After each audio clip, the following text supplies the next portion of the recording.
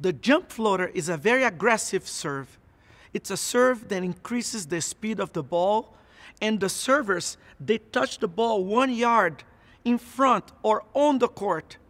The time from the contact of the serve to the contact of the passers is less than 0.3 seconds, which is very close to the human reaction.